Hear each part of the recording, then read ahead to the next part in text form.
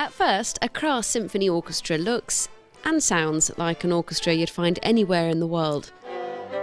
But listen closely, and you'll realise that something is different. Alongside Rossini, you'll find Fela.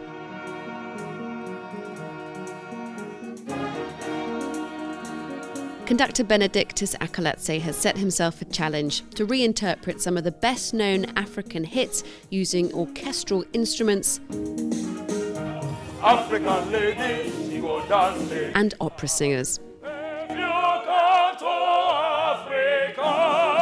It's not been very easy, but it's very achievable. We have been able to prove that you can use these instruments to play the African way and have the same feel that you would have had uh, if you're using African instruments having the, the violin, for example, playing, if you listen to the song I just did, was very percussive.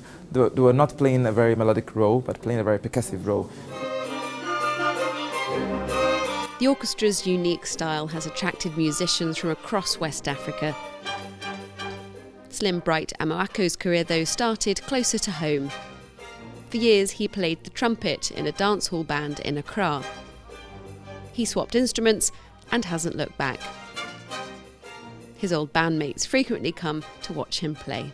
They all do appreciate what I've done because they've not been able to do what I've done.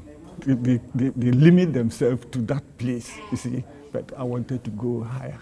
So, fact, they all advise, advised me to carry on and then uh, lift up the I mean, that even if you are from there, you can be here also.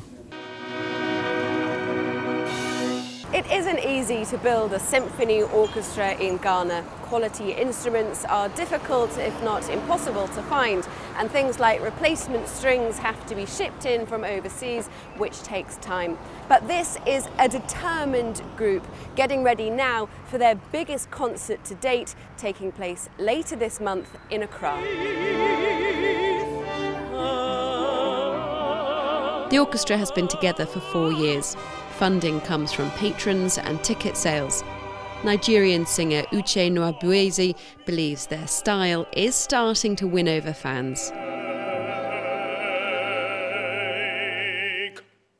Well, this is kind of revolutionary. It's a new invention for West Africa. Sometimes I could remember, sometimes when I stay at home and I sing, people will be like, okay, you have a very wonderful voice, it's very thrilling, but it's strange. So I get it most of the time, but it's very welcome. People are beginning to welcome it. Ghana has a rich local heritage with traditional styles and music like high life and palm wine still dominating. But these musicians want to start a classical renaissance. And they're doing it with style. Katerina Vittozzi, CCTV, Accra, Ghana.